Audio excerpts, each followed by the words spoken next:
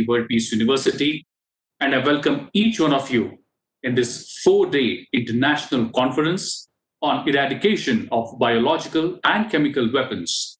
Today, we are inaugurating on 23rd of June 2020, and this four-day international conference would go on till 26th of June. This online conference is being organized under the aegis of Dr. Vishwanath Karad, MIT World Peace University, organized by MIT School of Government, Bharatiya Chhatra Sansad, supported by UNESCO Chair. And it is indeed my honor and privilege to welcome all of you to this very, very important inaugural session of this four-day international conference. My friends, it is indeed our honor and privilege to have the founder president of MIT World Peace University, the founder executive president of World Peace Center, MAEER's MIT Group of Institution, UNESCO chairholder, Professor Dr. Vishwanath Karad, sir, among us. Welcome, sir. We also have, as the chief guest of this session, Honorable Justice K.G. Balakrishnan the former Chief Justice of India, former chairperson, National Human Rights Commission of India. Welcome, sir. We also have with us for this important session the Executive President of MIT World Peace University, Pune, and Chief Initiator of MIT School of Government, founder of Bharatiya Chhatra Sansad, National Teachers Congress, and National Women's Parliament, Sri Rahul V. Karad. Welcome, sir. We also have the presence of the Honorable Vice Chancellor of MIT World Peace University, Dr. N. T. Rao. We have with us as the guest of honor of this session, Honorable Dr. Rajendra Singh well-known water conservationist, waterman of India, and chairman, Tarun Bharat. We have with us the guest of honor, Honorable Sri G. V. Sharma, IAS, Member Secretary of National Disaster Management Government of India. We are really, really honored to have all of you here. Thank you, thank you very much on behalf of the entire organizing committee.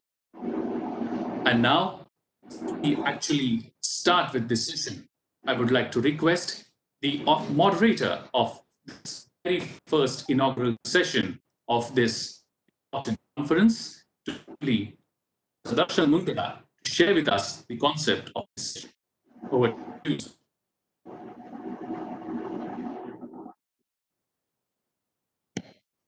Darshan, you're on mute. Hello, good afternoon, everyone. Uh, yes, uh, respected dignitaries uh, and the guests, welcome. Welcome to this four-day gathering. Uh, Honorable Rahul sir, revered Professor Dr. Karad sir, uh, sir, and everyone. Uh, thank you for this opportunity. Tech, I would like to request you to give me access to present the content, please. Uh, tech team,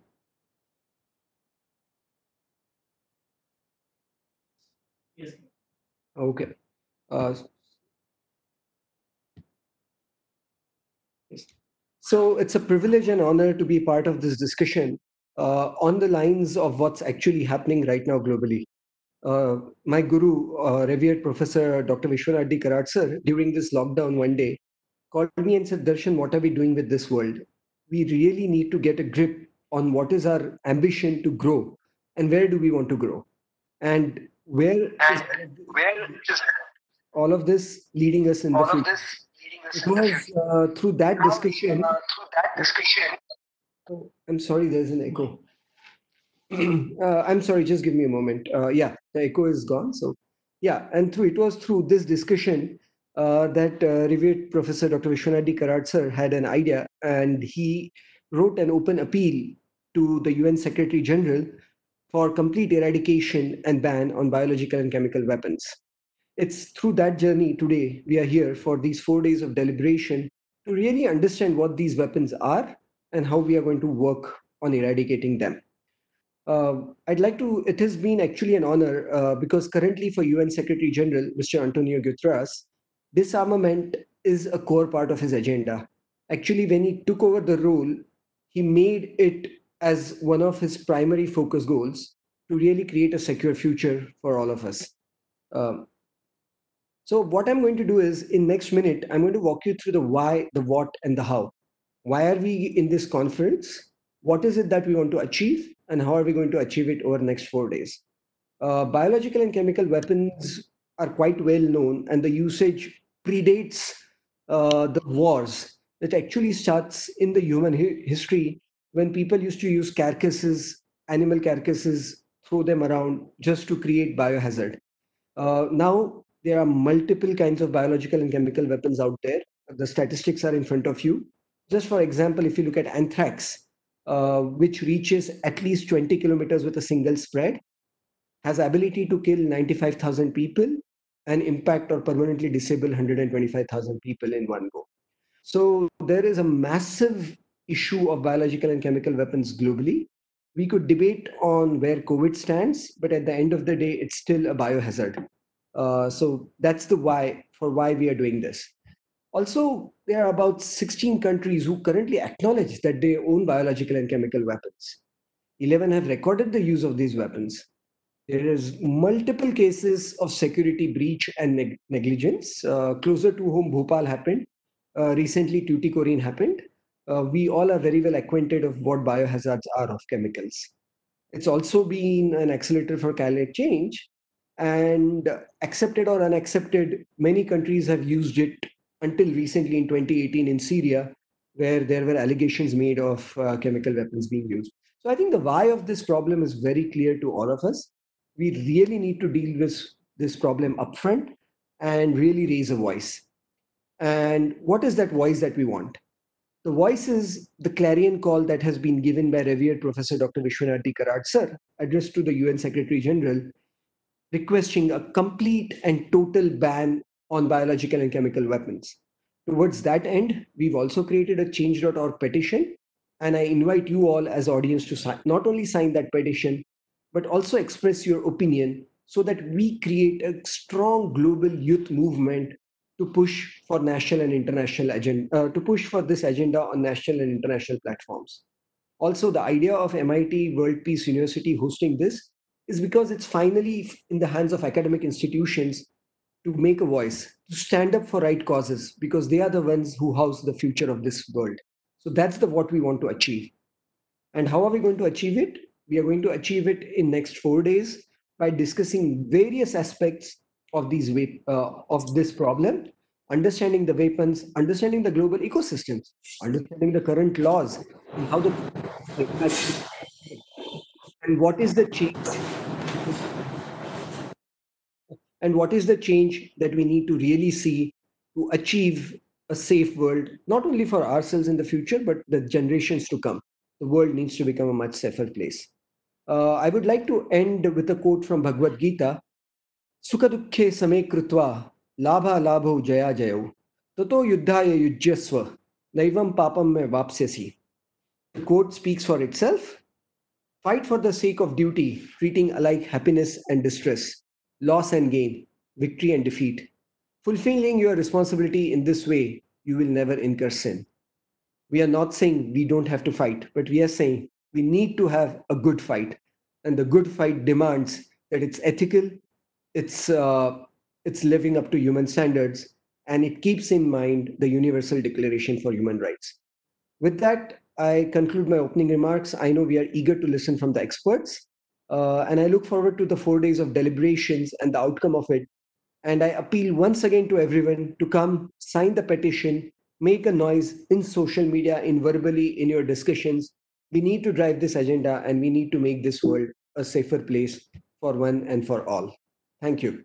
Over to you. Thank you. Thank you very much uh, for your opening remarks. Thank you very much for making the concept and the need of this uh, entire four days uh, conference important for all of us. Thank you very much for that.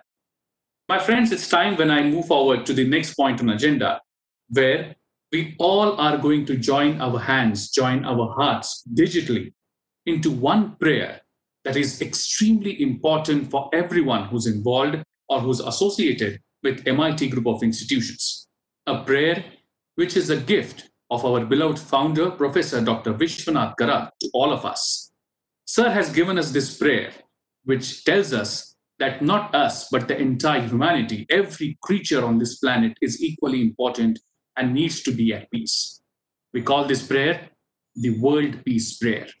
For last four decades, we all have been starting our day with this prayer. So I request you to join us in this prayer because this prayer does not talk about any caste, creed, religion, or any one particular section of society. I request each one of you to close your eyes and peacefully listen to this world peace prayer and please join your hearts in this prayer. I request my technical team to kindly relay the world peace prayer.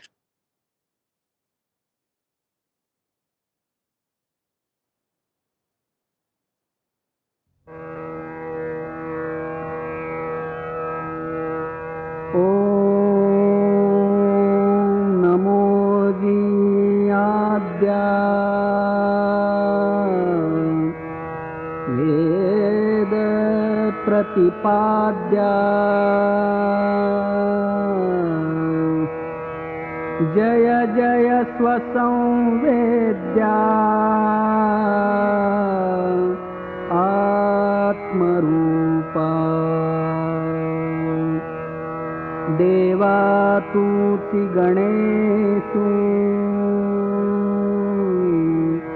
सकलार्थमति सकलार्थमतिप्रकाशु म्हणे निवृत्तिदासु। अवधारि गोधी गुरुर्ब्रह्मा गुरुर्विष्णु। गुरुर्देवो महेश्वरः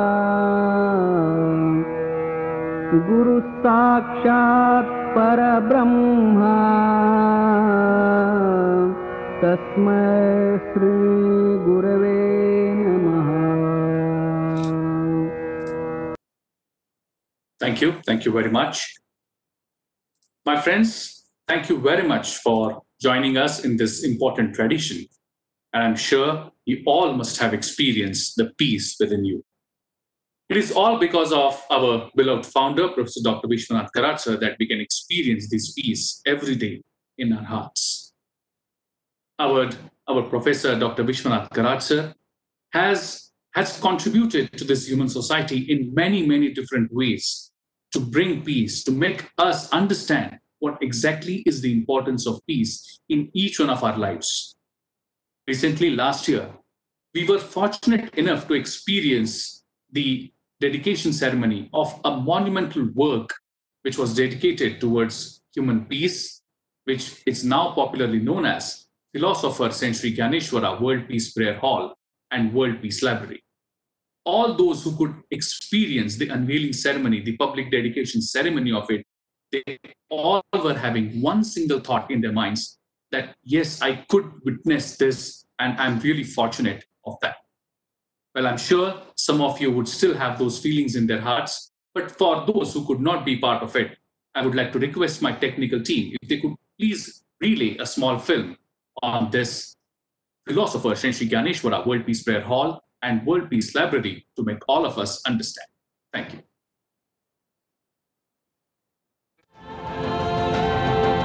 जिसका design किसी वास्तुविद ने नहीं किया इस गुम्बद की विशेषता यह है कि गुंबद के अंदर एक भी खम्बा या किसी भी तरह का सपोर्ट नहीं है।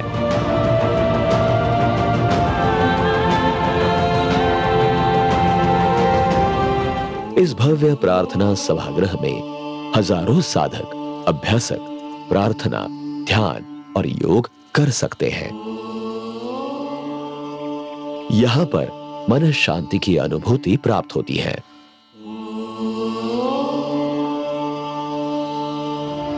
लाइब्रेरी का क्षेत्रफल बासठ स्क्वायर फुट इतना है। विश्व शांति लाइब्रेरी में हज़ारों ग्रंथों का अंतर्भाव है।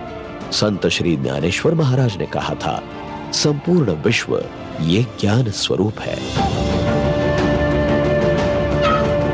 ये विश्व शांति लाइब्रेरी अत्याधुनिक और डिजिटल होगी। यहाँ पर हज़ारों पाठक एक ही समय पठन और मनन कर सकते हैं। चार मंगल स्तंभ, जिस पर मंगल कलश। विश्व के सबसे बड़े गुंबद के चारों दिशाओं में, चारों वेदों की संकल्पना पर आधारित सुंदर एवं अद्वितीय चार मंगल स्तंभों का निर्माण किया है। विश्व शांति और विश्व मांगल्य की कामना करने वाले ये स्तंभ है, जिस पर भारतीय संस्कृति और परंपराओं का प्रतीक मंगल कलश की स्थापना की गई है। मंगल कलश की ऊंचाई चौवन फुट है ये वास्तु संगे मरमर नक्काशी का एक बेनमून उदाहरण है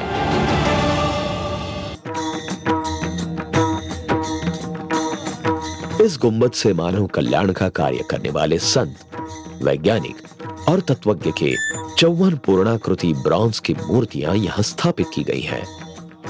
इस वास्तु में भारतीय संस्कृति के प्रतीक, भगवान श्री राम गौतम बुद्ध, भगवान महावीर, संत ज्ञानेश्वर, संत तुकाराम विश्व प्रसिद्ध वैज्ञानिक Aristotle Socrates, Charles Darwin, Mahatma Gandhi, Swami Vivekananda ऐसी महान विभूतियों की मूर्तियों का समावेश है। इन मूर्तियों के सामने खड़े रहने के बाद अंतकरण में सकारात्मक ऊर्जा प्राप्त होती है। संवाद के ज़रिए ये मूर्तियाँ तत्व ज्ञान का अमृत पिलाती हैं। ऐसा प्रतीत होता है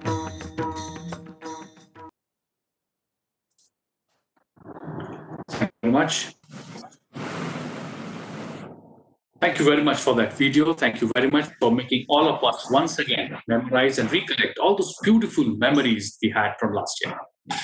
Thank you very much, my technical team. Uh, I would now like to go ahead and request the person who's not just saw this dream, but made this dream come true and give this entire humanity the gift that it deserved and was much needed for this times.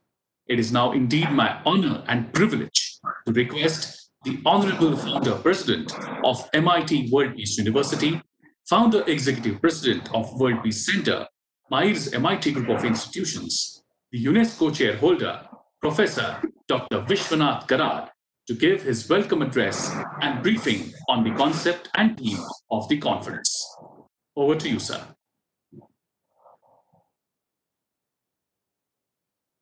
Thank you so much.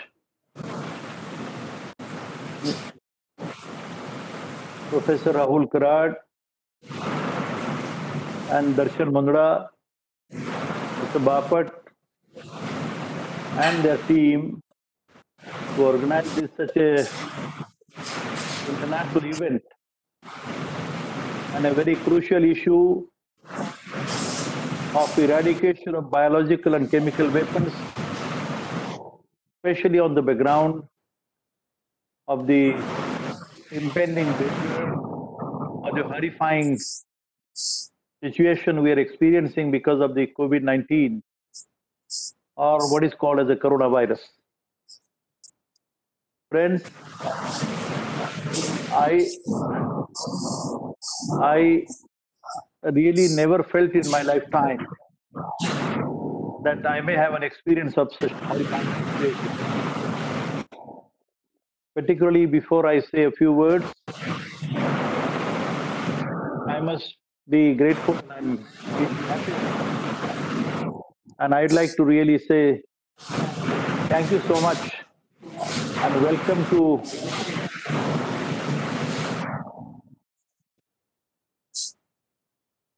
Honorable Justice KG Balakrishnan Sahab.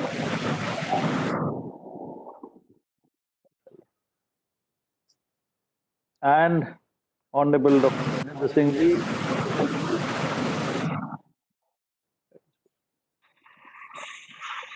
It truly fills my heart with a sense of pleasure when I see such eminent thinkers and philosophers for this.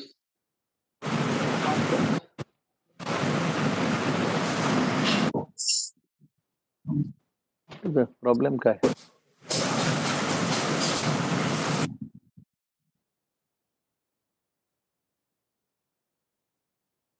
The technical team has to take some care.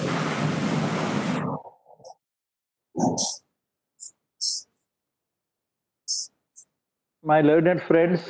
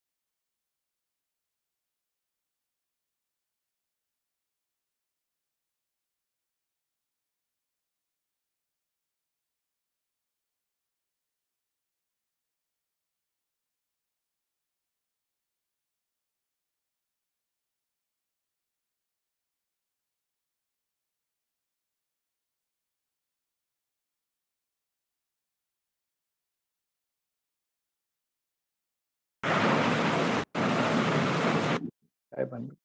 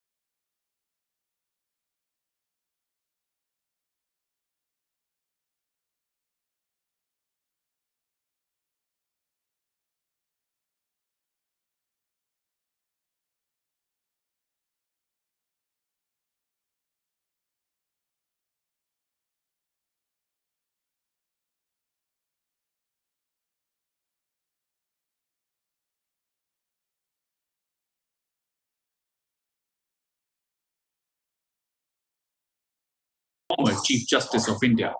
Thank you, thank you very much for joining us today. Born on 20th of May 1955, was the former chairperson of the National Human Rights Commission of India. He is the former Chief Justice of India. He was the first judge from the state of Kerala and also from the scheduled caste background to become the Chief Justice of the Supreme Court of India. His tenure, lasting more than three years, has been one of the longest in the Supreme Court. As an advocate, he pleaded both criminal and civil cases in the Ernakulam court. He was later appointed as the Munsif in the Kerala Justice in 1973. He later resigned from the services and resumed practice as an advocate in the High Kerala High Court. 8th of June 2000, he was appointed as the judge of the Supreme Court and he was sworn in as the Chief Justice of India on 14th of January 2007 by the India, Sri APJ Abdul Kalamji. After his retirement on 12th of May 2010, he has been serving since 7th June 2010 as the chairman of the National Minerals Commission. Thank you, thank you very much, sir, for your presence here today. Thank you very much for blessing us with your presence. Over to you for your opening remarks. Hello, hello. Mr. Vishwanath Karad, the eminent educationalist of India, and his uh, active colleagues and dear friends, the Vice Chancellor of the university, and the members of the faculties of the university, and dear students. I'm very happy that the university has chosen to deliberate on a very vibrant uh, subject uh, for the four days uh, to discuss the nuances of all uh, all the problems related to the this uh, biological terrorism, international terrorism of biological nature. The it is I feel there should be a political will. We should have eminent politicians uh, all over the world to lead the country. Though it is being done by the scientists, it is the politicians who lead the country. They should be very dedicated, loving the persons to head the country. Then only we, we can have the world peace. Another thing is that the United Nations should be infused with more power. Whenever there is a suspicion, the United Nations, a team of experts, the scientists, the politi- political leaders, and other people should have the authority to go and conduct search and find out the what is going inside the in that country. But for the time being, it is very difficult to invest powers with the United Nations.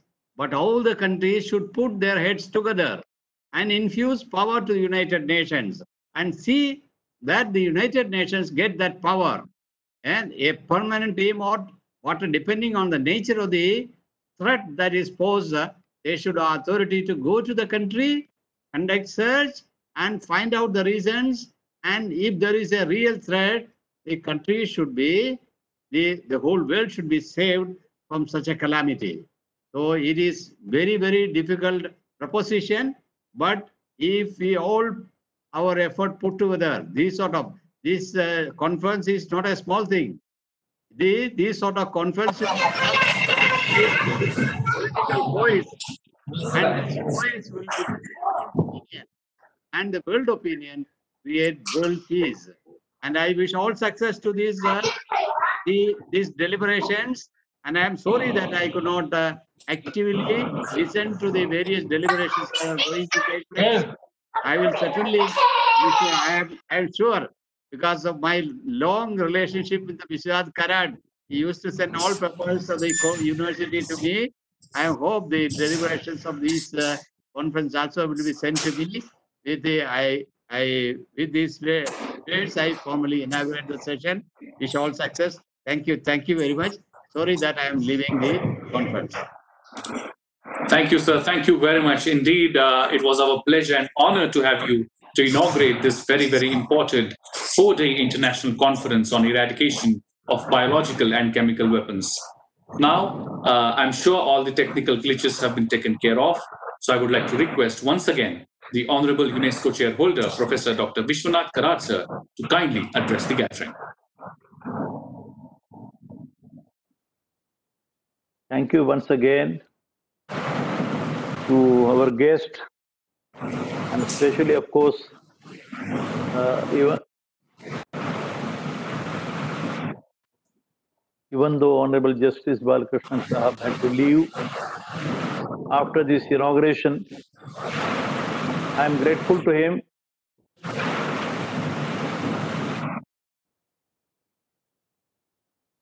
And thank you so much, Rajendra Singh Sahab.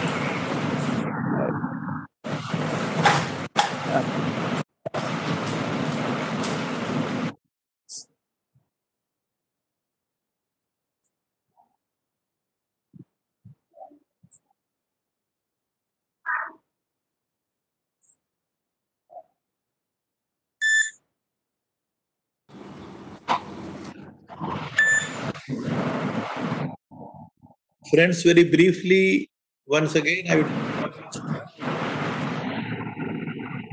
just inform you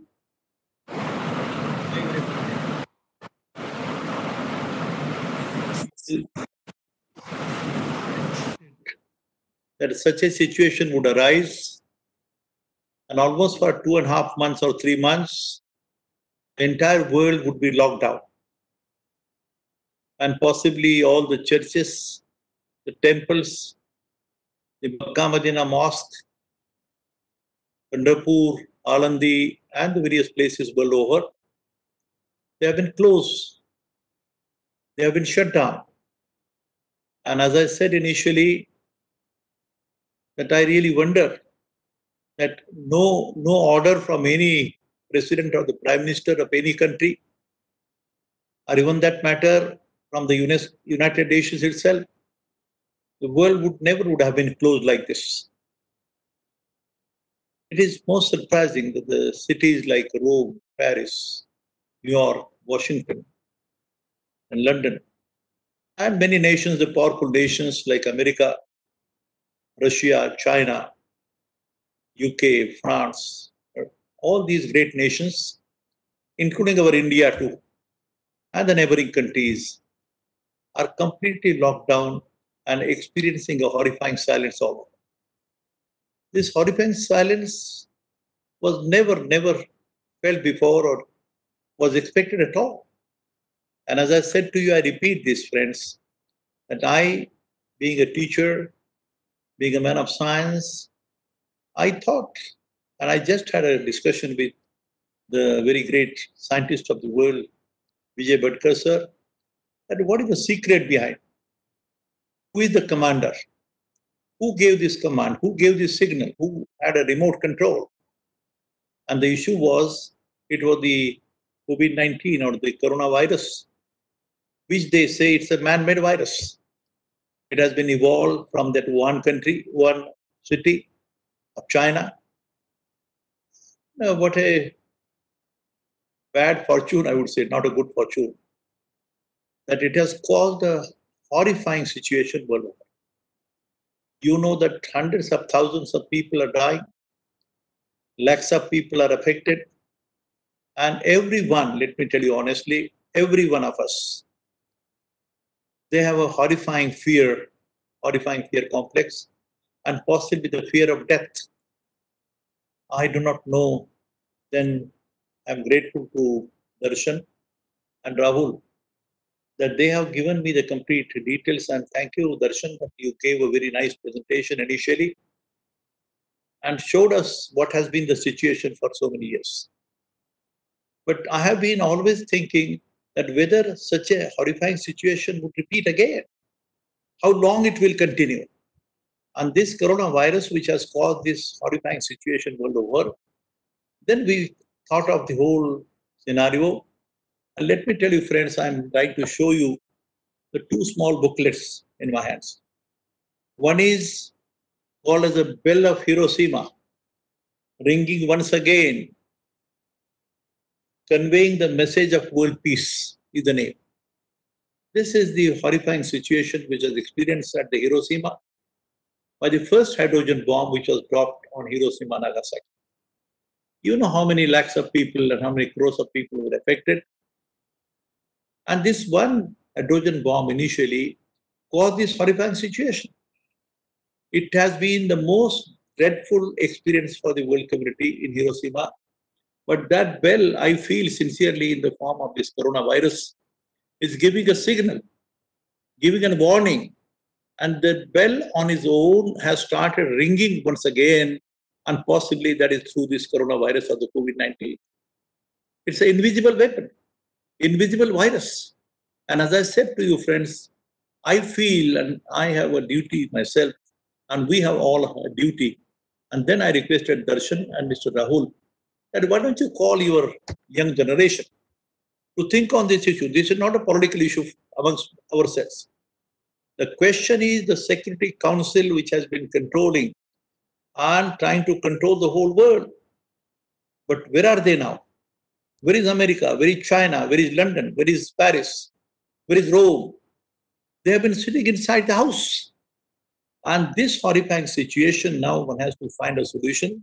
That's why, of course, I know I'm a teacher. I'm just a very ordinary teacher from engineering college, maybe heading some institution. But I said, and accordingly, I said to Darshan and Mr. Rahul too, that why don't you call the students' parliament, the world parliament of students, and the educated people?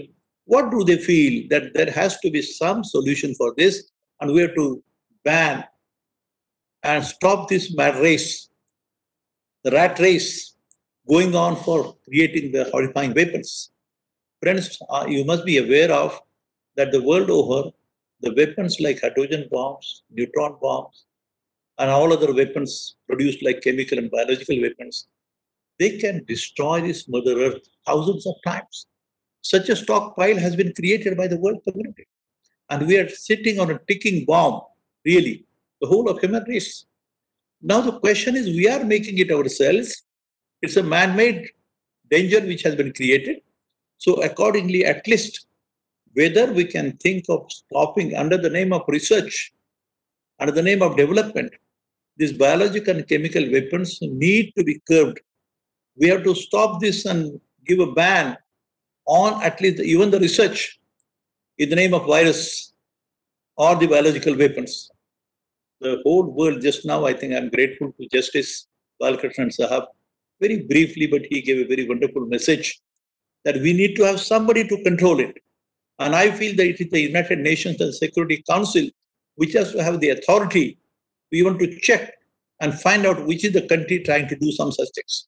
And unless we take some appropriate steps regarding this, the future for humanity is not good. In the history of whole of humanity, the prevailing humanity that we have been seeing human beings, let me tell you, friends, I'm showing you one small another book, which is called the Nine Universal Secrets of and the Principles of Human Life. The entire human race existing or prevailing on this Mother Earth, possibly our Rajendra Singh Saab would be more appropriate authority. He's talking about the pollution control, the sustainable development, sustainable goals, and the water management and the other allied things. But can you imagine? This is a question of sustainability of the human race itself, about Mother Nature itself. If it is a horrifying pollution like this or some virus like this can pollute and kill the human race and the living beings, what will be the future for the whole of the world is the main issue. We may not be the authority, but I appeal and request that the United Nations, the World Health Organization, and even especially to our visionary Prime Minister Narendra Modi ji, who has been trying to do something, and India has a role to play. I will say Mother India has a role to play. And we have to take an initiative and possibly using our own methods and techniques, which are so close to the rule of Mother Nature. They are the natural laws. When I said to you, friend, this very small book called The Nine Secrets of the Universe and the Principles which have been enunciated by the great philosopher Saint Sri Dnyaneshwara. I think initially a mention was made about the philosopher Saint Dnyaneshwara World Peace Dome. This is not the biggest dome that is important. It's the biggest message. The message is that this will be, I tell you, friends, certainly, not with pride, not with ego. I am not the maker. I am not the doer. It has been evolved. It's a there is big, big uh, issue behind. But let me tell you, friends, tomorrow this is going to be a real wonderful pilgrim center of the knowledge divine, the knowledge part of it. And let me tell you, friends, in this booklet, which I have been giving the nine universal secrets, I'm more keen to understand what is the secret behind this virus. Who is the commander? Who is the secret maker? Who is secretly trying to do and make the whole human race suffer? That's the reason. And friends, remember, as Darshan said, Rahul said, Rahul has to yet to speak. I think he has to speak his mind, but he is taking a lead in this mission. And the World Parliament, which has been going on for the last five, ten years, I think you are the people. You are the youngsters.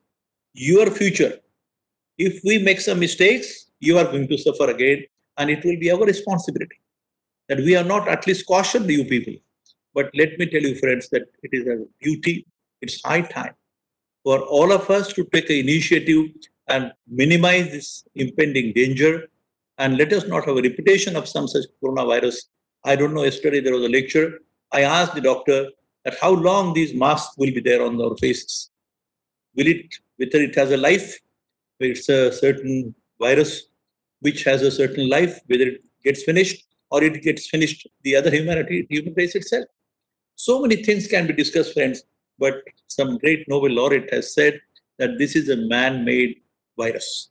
It is not a natural one, not like a flu or not like a cholera or many dangers which Darshan has given the whole list of the Second World War and the various tools and weapons which were used being then that time to crores of people were killed. But are we to create a danger for ourselves? And what is going to be the result finally? Where will these great Security Council members and the greatest nations who have been mad after the power game, who are trying to develop such things, for what purpose? What is ultimately the gain which we are going to get? Let me tell you, we have a duty to the humanity as a whole and for the human race and all the living beings and toward this Mother Earth. We have to make it sustainable. We have to allow this human race to sustain and continue and contribute something very beautiful, very better. And the solution, as was said by philosopher said Dnyaneshwara, let me tell you, friends, once again, I said in the morning, the mechanism, being an engineer, I have just tried to understand this. This whole body mechanism. There is a body and the brain on one side. The soul and the mind is on the other side. The body and the brain can be understood with scientific laws, scientific principles. But the soul and the mind, which is invisible, it can be understood only by the spiritual component. The scientific and spiritual component put together makes a universal component, universal law, universal secret, which I am trying to put it in this small booklet. And possibly this may give a small glimpse to the whole of the present scientific world. Let me honestly tell you, friends, the Dr. Penrose, Dr. Einstein, Dr. Schrodinger, the great men, they have already stated that at the end of this scientific game going on, scientific world reaching the climax of the Facebook and the Google and the internet, what we are trying to do, the time and space has, the dimension has changed. I'm talking to where you are sitting, I don't know, but I have a dialogue like sitting in front of me. This has been possible through science. The question is to put the science and spiritual component together. That makes our duty, and that's the only pathway to understand this secret and the horrifying danger of this coronavirus. And that's why the appeal made by uh, Darshan and Bapat, I think we need to come together. As friends, let us not forget our duty, duty to the well-being of the entire mankind. Thank you, friends. Thank you so much. Thank you, sir. Thank you very much for your words and thank you very much for your wisdom that you all share you share with all of us. It is really important to understand the views and it is really important for all of us to understand our duties towards our upcoming generations. As sir rightly said, that mistakes that we commit in our lives, our future upcoming generations would have to pay for it. Thank you, sir. Thank you very much for your views.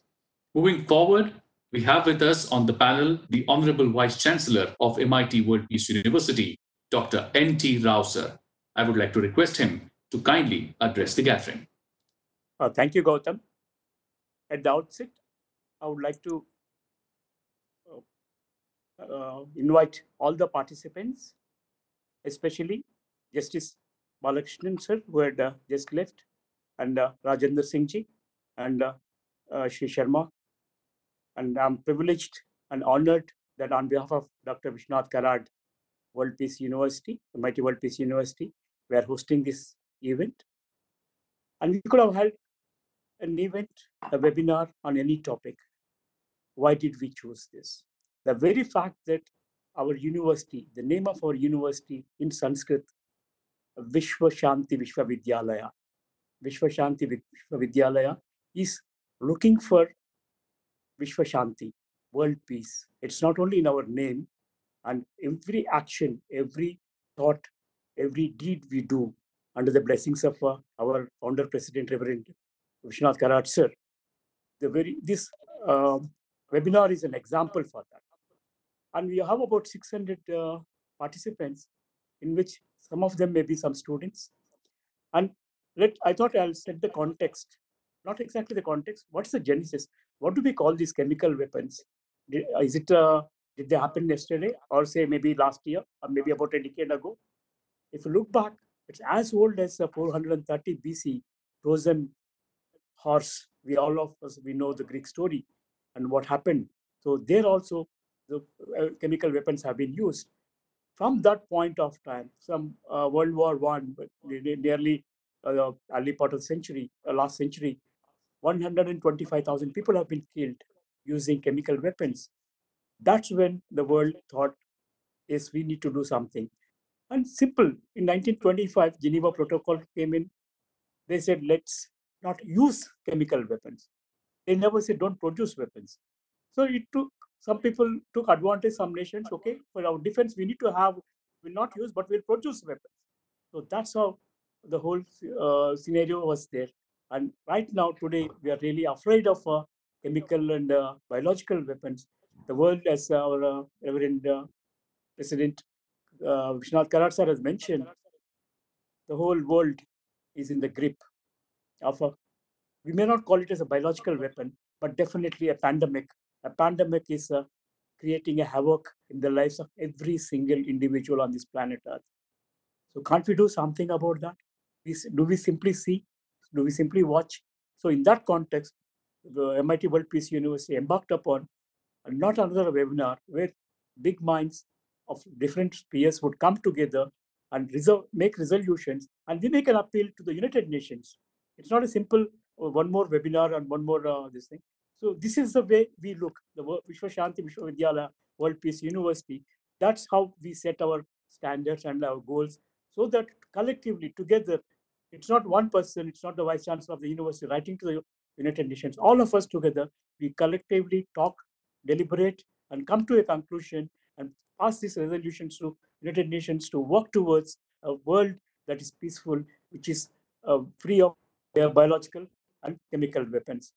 So with that view, we started this and we request all of you to actively participate and contribute towards world peace uh, through MIT World Peace University that we are trying to take upon. Uh, I once again welcome all of you and thank you very much for coming and attending this. Thank you very much. Thank you. Thank you, sir. Thank you very much, Professor Dr. N.T. Rao, Honorable Vice Chancellor of MIT World Peace University, for addressing the entire gathering and putting, uh, putting forth his views. Thank you very much, sir. Now, it's indeed my honor and privilege to welcome on dais the next our guest of honor of this particular session, Honorable Dr. Rajendra Singhji, well-known water conservationist, the Waterman of India, and chairman of Tarun Bharat Sangh. But before I invite him, it is my honor and privilege to introduce him to all of you. Dr. Rajendra Singh was born on 6th of August 1959. Is an Indian water conservationist and environmentalist from Alwar district, Rajasthan in India, also known as the Waterman of India and won the Magsaysay Award in year 2001 and Stockholm Water Prize in 2015. He runs an NGO called Tarun Bharat Sangh TBS, which was founded long back in year 1975. He's one of the members of the National Ganga River Basin Authority, which was set up in 2009 by the Government of India as an empowered planning, financing, monitoring, and coordinating authority for the Ganges in exercise of the powers conferred upon under the Environment Protection Act 1986. It is an important, in his important event in his life came in year 1974, when still in high school, Ramesh Sharma, a member of Gandhi Peace Foundation, visited their family home in Meerut. This opened up Mr. Rajendra's mind to issue issue of the village improvement as Sharma went about cleaning the village.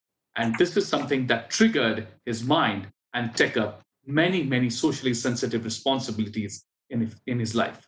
My friends, if I have to talk about the awards and honors he has had, I mean, I, the, the list is really, really big. In year 2001, the Raman Magsaysay Award for the community leadership in 2001 for his pioneering work in community-based efforts in water harvesting and water management. 2005, Jamnalal Bajaj Award for application of science and technology for rural development. In 2008, The Guardian named him again amongst the It's list of 50 people who have- could have saved the planet and many, many more. It is indeed our honor and privilege to have you here with us today, sir. I welcome you on this dais and I request you to address the gathering. Over to you, sir.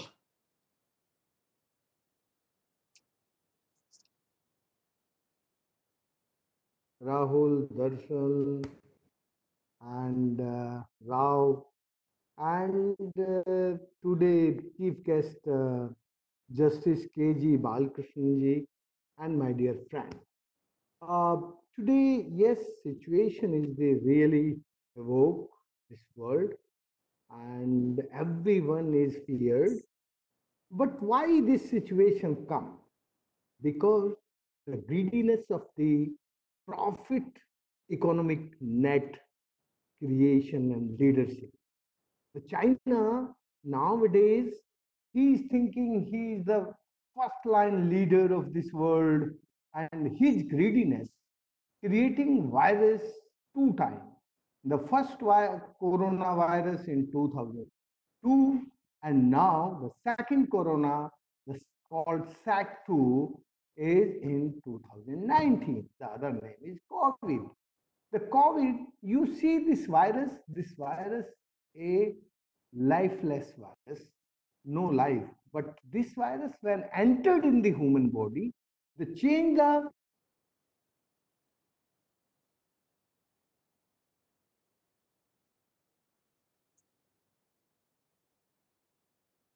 all things and our body not recognize he is anti anti antibody और he is the in the body so जब लालच किसी को धोखा देने लगता है so now this is the covid nineteen a real voice who create a havoc and I say this is a this is a real real real peace evolution revolution if we want peace so we can learn from the COVID 19. If we really change for the peace, so now we can understand this virus war, what type of the situation creating in this world. And very simple, uh, hardly not big thing, very, very, very easy. So this is the this is the disaster of the technology and engineering and science. When the science fulfill the greediness of the humankind, so the science moving to the profit, only for profit, only creating the leadership for the profit. So now the leadership of the profit in the mind of the China, and the China want a great leader in economy of this Right. world. And this greediness creating this the havoc situation. So, Sir, I'm sorry to interrupt, but uh, we have received a presentation from your side. You want us to put the presentation up for you? Because we have received it Oh, from your side. Yes, yes, if it is possible, I like Yeah, that. because, uh, yeah, we, uh, we have some around uh, 10, 15 minutes from now. And yes, we can put up the presentation for you. It's on, sir. Please, you can go ahead. Thank you.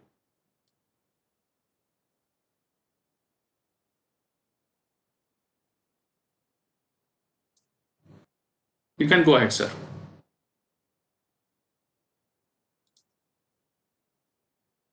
Uh, technical team, is there any connectivity issue from sir's side? Uh, yes, sir. I think there is a bandwidth issue. Bandwidth issue. Okay. Yeah, that yellow yellow triangle on the Yeah, yeah, yeah, yeah. Yeah. Okay, we'll wait for a couple of seconds. Otherwise, uh, we'll Nilesh, go ahead. Nilesh, call him immediately and see if there any assistance he Yes, requires. yes, sir. Yes, sir.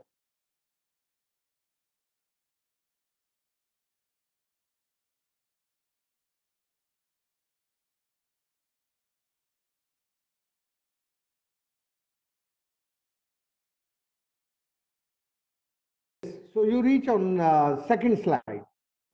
My dear friend, this is the modern problem. Is the real problem of the this world is the war is coming on our gate, and uh, this war is reaching in our house. Why? Because the pupils is migrating from Africa and Central Western Asian country to Europe. and all Europe feel the threaten to the dangerous landscape because the population moving toward there. So the war is war reaching now in the in the everywhere in a different way. This is the chemical and virus war, but the war is third world water war is also coming because the forced migration. And these now the all environmentalists what they are saying, no national government listening them. The only they are listening to the corporate. If the corporate is speaking something, so the government, every government listening. So the all angerness of the activist and environment activist to the against the national government, but the government is not bothered. So my dear friend, now the situation is the war because the government not moving toward to the ethic and not moving to the justice. They are not giving the justice to the ecology and environment and nature, and not they are giving to the justice to the humankind. And but also the, the problem is with the pupil. The pupil believe like India, believe in the God, and the God means land, water, air, sun, space. These five elements is the God of this uh, this country. But now the everyone moving to the temples, they are forget the gods. They are just reaching to the uh, stone temples. So this is the big change because the stone temple is a center of the business, center of the economy. So now everything is moving to the economic profit competition net. The everyone forget the security. केवल लाभ के चक्कर में सब लग गए हैं, शुभ को भूल गए हैं। शुभ अब हमारे जीवन का हिस्सा नहीं रहा, केवल लाभ हमारे जीवन का हिस्सा रहा इसलिए हमें नेक्स्ट इसलिए हमें यदि इन चैलेंजेस को, ये जो ये जो मॉडर्न ग्लोबल चैलेंज हैं क्लाइमेट चेंज के next next slide next slide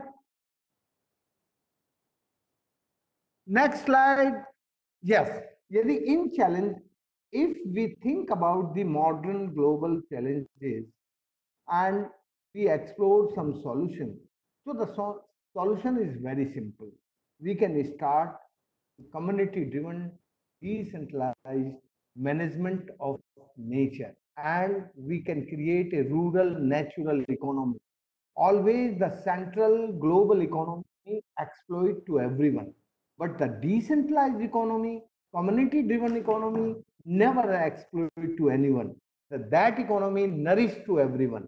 So we can think about this uh, uh, rural natural economy decentralized economy. Next. Next presentation. You know the last year 19 state and uh, 365 district facing the water scarcity and uh, 190 districts facing flood. So after the independence, the 10 time fold drought and scarcity and 8 time fold the flood. So this is the flood and drought is the disaster for the humankind. Next. Next.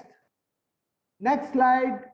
Because our all university teaching us the technology of the exploitation, pollution, and encroachment. The management teaching encroachment, engineering and technology teaching maximum use of natural resource. So we the teaching to the extraction and exploitation. Due to the that education, modern education, we exploit the underground aquifer. The India exploited 72% underground aquifers. Our all reserve water reserve bank is empty and overdraft. We, if we we create the overdraft of our reserve bank, so what is the future? You can think, my dear friend. Next slide. Because we not give the respect to the science, the science and technology moving different way. The, the science with sense and science with common sense always related with spiritual spirituality. If you are using technology and engineering that moving to the extraction and exploitation and pollution and encroachment. So if we can correlate with the science and technology so we can explore the sustainable solution. But we are not moving in this line. My teacher is a illiterate farmer. So he teach me the science with the common sense and that science he completed my phd in one day in geohydroscience. And next day he completed my phd in environment engineering. So the environment engineering and natural engineering and geohydroscience, we correlate and we create the water bodies, 11,800 water bodies, the all water bodies. Next slide. Next slide.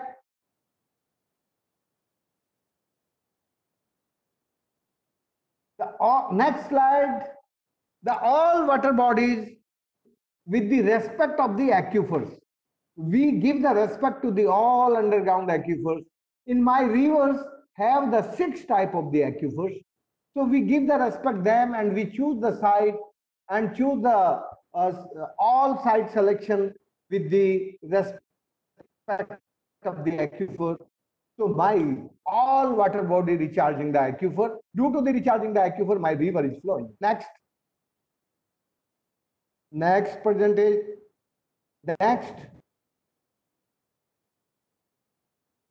The all illiterate people who migrate, reverse migrate from the city to rural area. So they start the resource mapping of the village. How much water come in the rainy season and how much going flush flood. So we start the resource mapping and we start the site selection with the community decision. All sites selected by the community and they create the water bodies. And due to that water bodies, that is created Sanatan Vikas the Sanatan Vikas means Sadev Nitya Nutan Nirman. Uh, that is the meaningful more than uh, sustainable.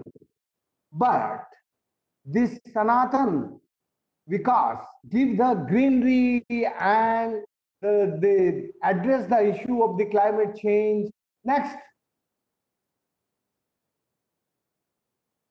You know, we choose the site where the we can recharge the aquifer. Next where the steep slope we make a convex design, where the convex concave design is gentle slope, and these natural sites we choose. Next. 11,800 water body recharge the 250,000 wells. Due to the recharging the wells, the reverse migration start and they do the agriculture and increase the greenery. So before that, no well have the water and people is migrate to the cities. Now they have the water and they, they doing agriculture. Next. Next. The before you can see the impact. Before this river is dry and people migrated into the city in 19, up to 1985. After 2000, this river is perennial and flowing and change the change the color of the area, you can see the impact.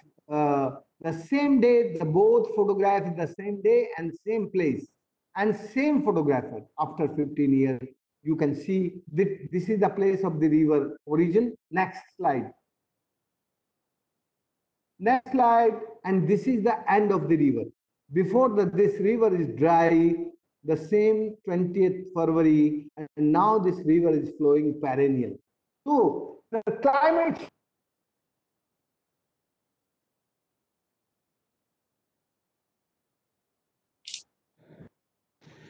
I think we are facing some uh, bandwidth issue from Sir's side. Nevertheless, we'll wait for a few seconds.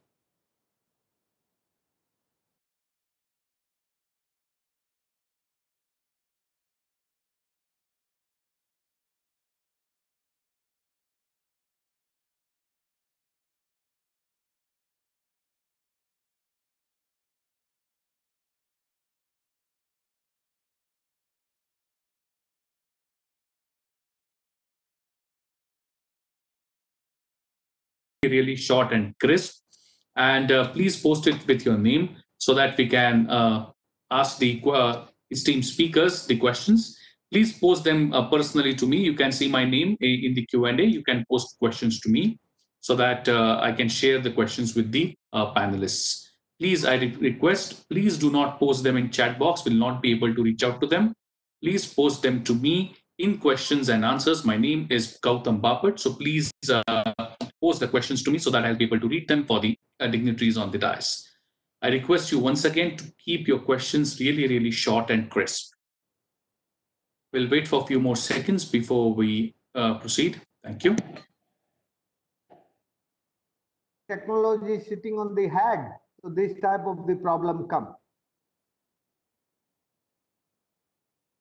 Please proceed, sir. We can see you now. Please proceed.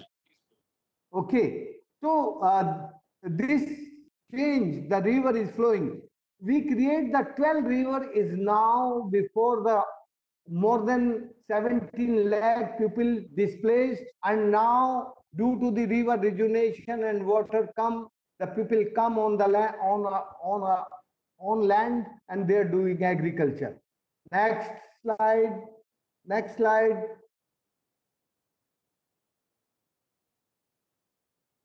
You can see the NASA uh, National Remote Center, Center Hyderabad. The what is the difference? That say, due to this water conservation, the immense increase the vegetation is clearly in this region. Due to the vegetation, the now the lot of good rains coming in my area. The 10,800 square kilometer area very good rains now in after 1996 very good rains. And the all all change when i start this work only 2% green greenery now the 48 42% green greenery increase. You can see this slide. Next. Next. So we have started uh, pouring in many questions also. So uh, let's let's keep Uh, some time just- just- for the questions. minutes just just two minutes you give just i Sure, i singing sure, a small sir. song when i start the work my local woman old woman singing the song बादल तो आते हैं मेरे गाँव में पर बरसते नहीं हैं वो रूठ कर चले जाते हैं कहाँ मैं नहीं जानती जब पानी नहीं रहा तो मेरा बेटा और बहू भी रूठ कर चले गए मुझसे अब मैं रह गई हूँ अकेली अपने गाँव में। मुझे नहीं लगता मैं कहती हूँ बादल से तू बरस जा मेरे गाँव में। पर वो बरसता नहीं है। वो निष्ठुर रूप तक जाता है कहाँ मैं नहीं जानती। ये 37 year before all women singing this type of the song in the, my region. Now, the change of singing song. अब बादल आते हैं मेरे गाँव में बरसते हैं वो। रूठते नहीं है वो। अब मेरे खेत और कुएँ में आ गया है पानी। मेरा बेटा और बहू भी लौट आए हैं मेरे घर पर। अब मुझे लगता है कि मेरा बुढ़ापा मेरे बुढ़ापे के दिन अच्छे से गुजरेंगे हरियाली में और मेरे बेटे की खुशहाली में। मैं भी रहूँगी खुशहाल। मेरे इस पानी ने मेरे जीवन को बनाया है खुशहाल। तो दोस्तों, जब मनुष्य ग्रीडीनेस से ऊपर उठकर लाभ के चक्कर से हटकर when human greediness less and the respect of nature start so the climate change adaptation start now you can see different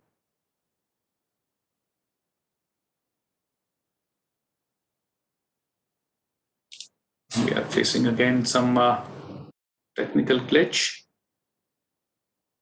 Uh, but I'm sure we'll be able to hear him again in the questions and answers because, uh, of course, we are receiving many, many questions for Sir.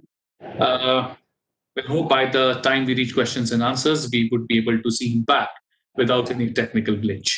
Uh, thank you, sir. Thank you very much uh, uh, for addressing the entire gathering, and your words were really, really motivating.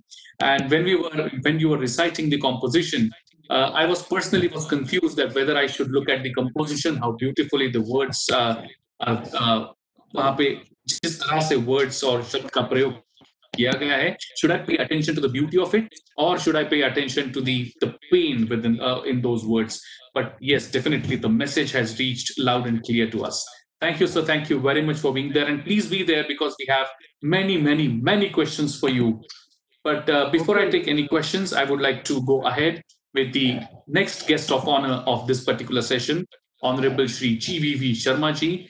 And it is indeed my honor and privilege to introduce him to all of you. Shri GVV Sharma, the IAS Member Secretary of National Disaster Management Authority, NDMA. Shri GVV Sharma is currently serving as the Member Secretary of the National Disaster Management Authority Sri Sharma joined the Indian Administrative Services in 1986 and has obtained a master's degree in physics.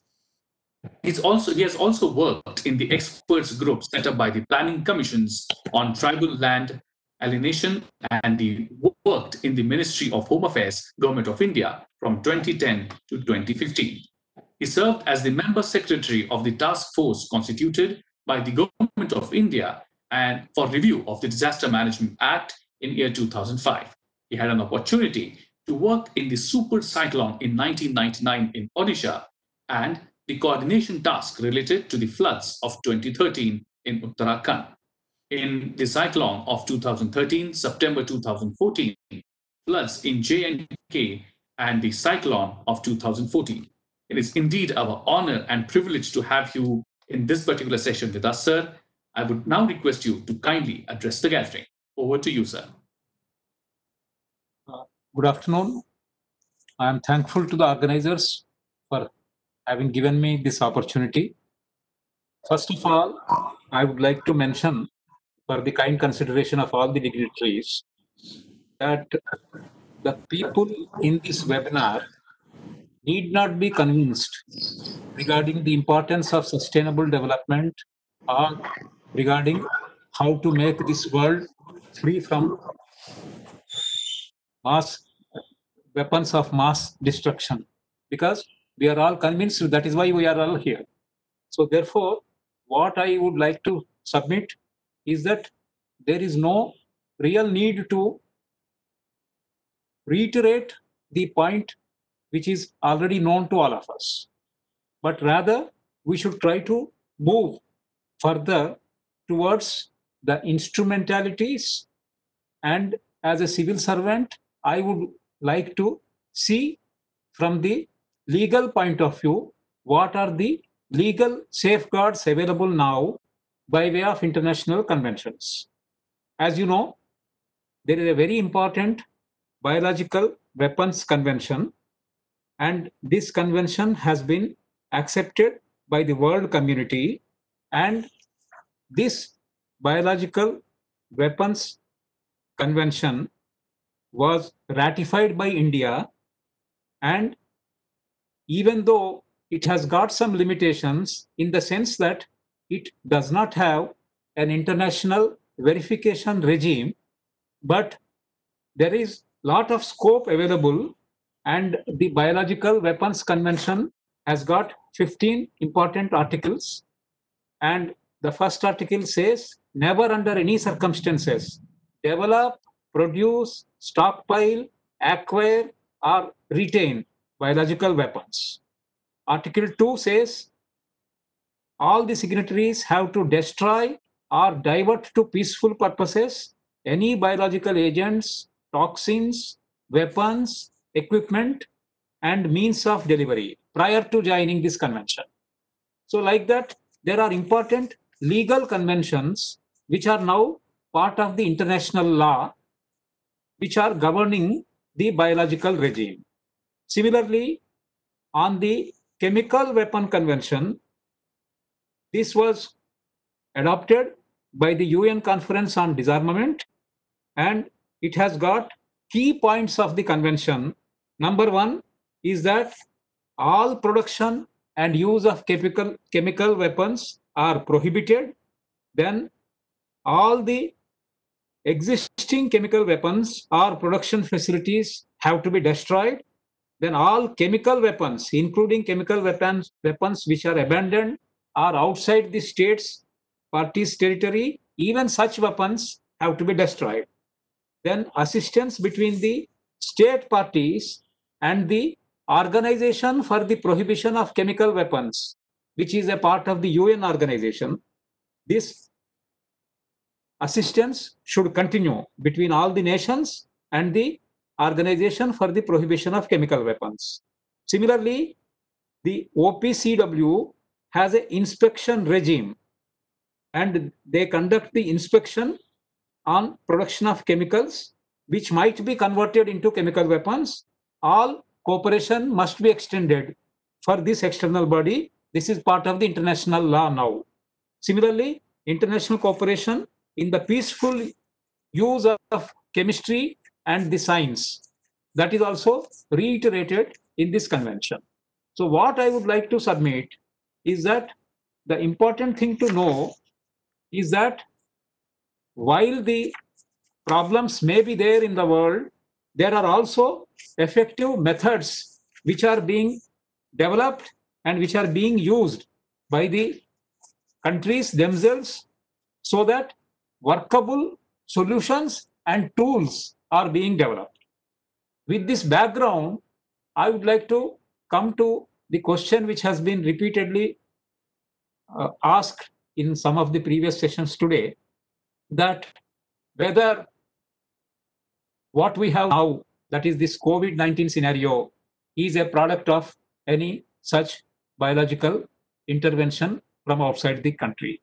Now, my submission is that as disaster management professionals and as the public of India, our concern should be how to deal with the present disaster. And especially in the context of COVID 19, the manner in which we collectively deal or we are required to deal with this disaster is not dependent on whether it is uh, spontaneous or whether it is man made or whether it is engineered. It, it, it does not matter. All that requires is how our preparedness can be stepped up and how people themselves can contribute by following the physical distancing norms, how to wash hands regularly with soap water or alcohol based rub, how to maintain physical distance of at least two meters from one another, and how to ensure wearing of mask. As far as the common public are concerned, these are extremely important tools by which, to a considerable extent, the spread of infection can be reduced. And while leaving it to the experts and to the professionals on looking into the origin and looking into the verifiability or evidence collection, that is a separate scientific subject. The scientific experts will be doing their job. But what I submit is that as far as the communities are concerned, the communities, like we are all prepared to have a community based system for disaster management in case of natural disasters like cyclone or flood. We are all prepared. We take the necessary steps. We follow the do's and don'ts in the same manner, even for the present COVID 19 scenario, also, all of us have to prepare and step up the ability to contain the spread of the infection. And that does not matter whether a cause of this action is X or Y. With these words, I once again thank the organizers for having given me this opportunity. Thank you, sir. Thank you very much. Thank you very much for your thoughts. And indeed, it is uh, time that we go for the questions and answers. I'm sure, sir, if you can give us a little more time from your schedule for questions and answers. Uh, I have received many, many questions. So uh, let me quickly move to them. Uh, the first question is coming from Mr. Sagar Udasin. And Mr. Sagar asks, is there a check to realize uh, a particular lab uh, doing some uh, generous research and not making something uh, for biochemical war or something like that? So how is there any way to find out which lab is doing what basically? Is the question addressed to me? Yeah, yes, sir. Oh, I'm sorry, I do not know. I, I do not know. Uh, okay. Uh, Anyone in the panel would like to take this question? So the, as of now, uh, Darshan here, uh, as of now, there are various protocols, uh, as Sir just mentioned, under OPCW and uh, uh, Biological Weapons Convention. Uh, unfortunately, there's no mechanism to check on that, and that is what we are trying to address today uh, as a dialogue or as a gathering, is to really push the larger ecosystem go, to come up with those cross-checking mechanisms. Like for nuclear uh, aspects, there are very strong mechanisms, and countries have to, under non-proliferation treaty, have to permit investigation of their nuclear sites. Unfortunately, for biological and chemical weapons, none of that exists. Oh, Thank you. true. Thank you very much. I hope Mr. Sagar has uh, got his answer. Thank you very much for the question. Next question is coming uh, from uh, Rajesh Panchamiya. Uh, okay, uh, next, uh, uh, can you hear me? Yes, we can hear you. Yeah, thank you. Uh, the next question is coming from uh, Mutharsan. I'm sorry if I'm not able to uh, uh, uh, pronounce it. The question is How would uh, be India's future in terms of converting seawater to drinking water project? So I think this question is quite intended to the Waterman of India, but uh, if he's available, uh, the question is, I repeat, uh, what would, how, how would be the future India's future in terms of converting seawater into drinking water? Anyone from the panel, please? Yeah, if I am allowed to uh, answer, I would say that already this work is going on. And uh, uh, for your information, in Andaman and Nicobar Island, now drinking water facilities are available by conversion from the seawater. So technically it is possible and it has been demonstrated. It is possible to develop them on a mass scale also. So the steps are going on by the government in that direction. Thank you. Thank you very much for that answer. Next question is coming from Dr. Samit Kumar uh, Majumdar. And Dr. Samit asks, how uh, consciousness against uh, biological weapons and chemical weapons can be developed among the students? Well, it's very, very important question. And on a university forum, in, yes, indeed, it is an important question. So how consciousness uh, against the uh, biological weapons and the chemical weapons can be developed among the students. I think this is exactly what your university is doing right now through the forums, through the workshops and seminars and